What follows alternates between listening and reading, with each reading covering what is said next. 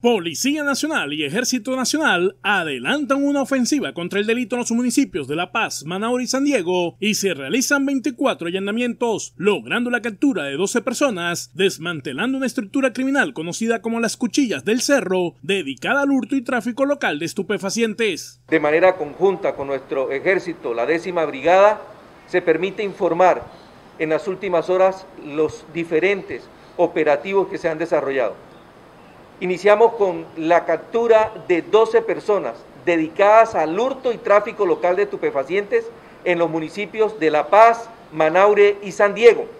En este eh, caso se desarrollan un total de 24 allanamientos, gracias también a la participación de nuestra Fiscalía General de la Nación. Y aquí se logran materializar seis órdenes judiciales y se capturan también a otras seis personas en flagrancia. Se incautan dos armas de juego, además de estupefaciente que estaba listo para su distribución. Con esta estructura denominada la cuchilla del cerro, la cual se le venía haciendo un proceso investigativo ya de más de cuatro meses, donde se evidencia que estas personas estaban, entre otras cosas, abordando a la gente en diferentes barrios, sobre todo cuando subían a esta parte alta a hacer deporte.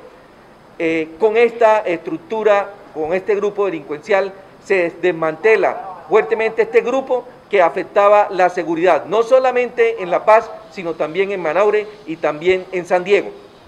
Es de notar que entre los 12 capturados se suman 19 antecedentes judiciales por los delitos como amenaza, delitos contra las personas y bienes protegidos por el derecho, violencia intrafamiliar, tráfico de estupefacientes, hurto calificado, hurto, favorecimiento de contrabando de hidrocarburos, porte de arma de fuego y acto sexual violento. Las personas capturadas por orden judicial corresponden a Óscar Moscote de Ángel, alias Pichola, jefe de la estructura criminal, Calet Mejía de Ángel, Sebastián Cotes alias Mogu, Andrés Mejía, Juan Romero alias Caquito y Edwin Mejía Ramos alias Caco, quienes deberán responder por los delitos de concierto para delinquir simple, hurto calificado agravado, porte de armas de fuego y tráfico de estupefacientes. Asimismo, fueron incautados en flagrancia Angie Mieles de Ángel, Carolán Sierra Petro, Carlos Mieles, Breiner Mieles de Ángel, Jonathan Mieles de Ángel y Carlos Peñate. Los capturados deberán responder por los delitos de porte de arma de fuego y tráfico de estupefacientes. En los allanamientos fueron incautados un arma de fuego tipo pistola artesanal, dos cartuchos calibre 9 milímetros, un arma de fuego tipo escopeta calibre 20 milímetros, doble cañón, estupefaciente base de coca y diferentes armas blancas. Gracias a este trabajo en equipo entre nuestro Ejército Nacional, Policía Nacional, Fiscalía General de la Nación y nuestro Cuerpo Técnico de Investigación, más de seis meses duraron nuestros funcionarios para lograr la captura del cabecilla de esta temible banda que delinquía en nuestros municipios de San Diego, Manaure y el sector central de nuestro departamento del Cesar.